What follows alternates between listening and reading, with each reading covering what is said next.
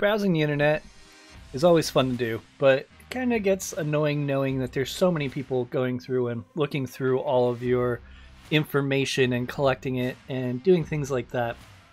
So, what we are doing today for the app of the week, we're going to be talking about a private browser, which will go ahead and make sure you're not being kept track of.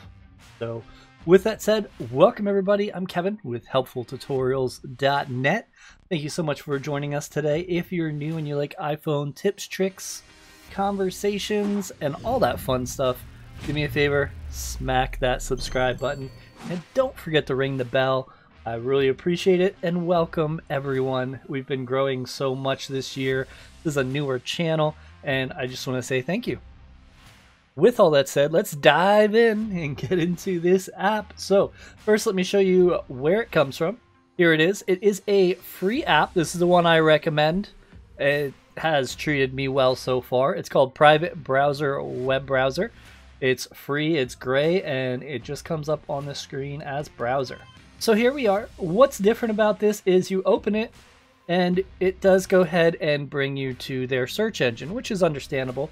They also have a VPN so all your information is basically not being tracked by Google or anyone like that.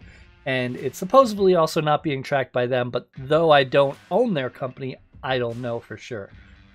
But it's not going to go ahead and record on your phone. So if you're like me and you go on YouTube and you want to search things, you can do that and go in here and search stuff. So it's going to come up as a blank user. So when I search stuff, like for example split screen Fortnite will look up. So why would I look this up? It's because I have another channel. And with my other channel, I want to see how I'm ranking.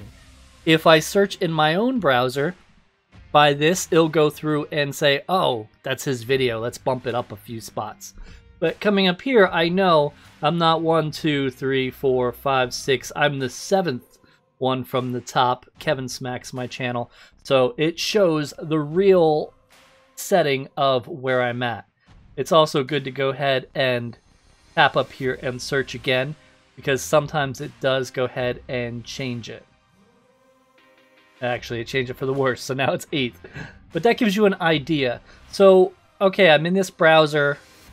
For some reason, I don't want people to see. I close it. I go back in it resets the whole browser. It doesn't track anything on your phone itself, nothing is in your cache or anything like that. So if you have something embarrassing to look up or anything like that, this would be the browser to do it. It would go through their systems and not be on your system. So I just want to go over this as the app of the week. I know I don't do this weekly, but I still call this series the app of the week. I'm gonna have more content probably coming in January. Right now, it's kind of like um, all full speed ahead on my main channel just because Fortnite's so popular. But I will go through and have a lot more content once January comes. And I'm also going to be redoing the website some and a lot of cool things coming. I'm also going to have some free stuff coming that I think you'll all enjoy. So if, I hope you enjoyed this video. I really appreciate it. Here are some other ones I think you'll enjoy and I want to thank you for the view.